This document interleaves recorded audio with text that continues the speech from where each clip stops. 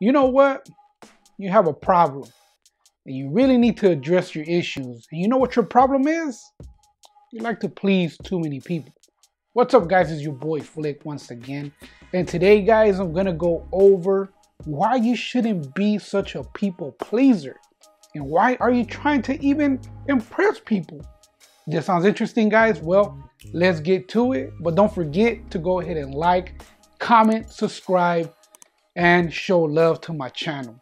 So see guys, here's the thing. The reason why you're trying to impress people and why you're out there trying to be liked is because you want to feel accepted. The truth is that you don't see yourself as a valuable person and thus you try to use what you have like your assets, what you gain, or you try to impress people by trying to be this person that you're not.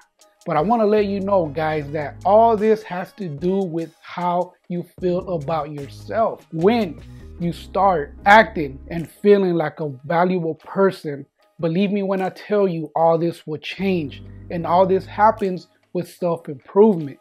Guys, I want to let you know that if you're out there trying to impress people, out there trying to be liked, it's not going to work out. And the reason why is because, you see, you can't fake it in this world, guys.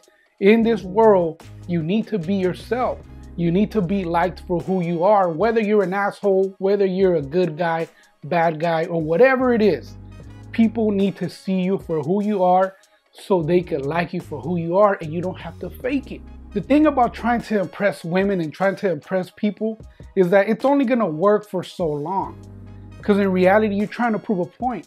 And once that point has been proven and you attain that person or you get that girl, you have to keep living up to those standards. You have to keep impressing and impressing and impressing. And then what happens?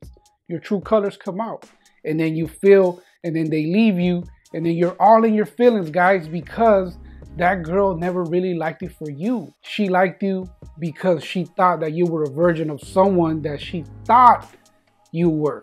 So, this is what I mean, guys. When you are yourself and when you feel good about yourself, you don't have to impress anyone. You don't have to go out there and be liked by anyone because you know who you truly are and you don't quite frankly care what they say or think about you. So then you ask yourself, yo, Phlick, so what do I do? There's this girl that I really like and I'm afraid that she's not gonna like me for who I am because I have nothing to offer. Well, this is my answer, guys. If you feel that way, then that girl is not meant for you. See, when that girl is meant for you, it doesn't matter who you are and what you are. You don't have to impress her because right away she'll like you from the get go. There's nothing that you have to do. When that girl is meant for you, she is meant for you. It can't nobody take that away from you.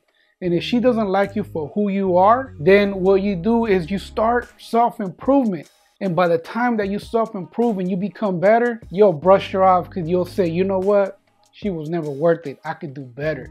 That's the thing, guys, is that when self improvement, you'll always achieve and try to be a better version of yourself. Guys, the only reason why I can share this with you is because I was that dude that used to try to impress women, and I was that dude that used to try to fit in and try to belong and feel accepted. Until one day, I just realized that it wasn't worth it. And that's when I started self improvement. And then when I started self improving, guys, my mentality changed. I realized that I don't need to be liked. I don't care if I'm not liked. I don't give a damn if that girl doesn't like me or not. For me, they'll always be better. And for all those people that can't accept me for who I am, tough luck. I am who I am. Whether I'm an asshole or not, it is what it is. I will always stay true to myself. And within me, I know what I deserve and what I don't deserve, guys. And that's the way you should be living.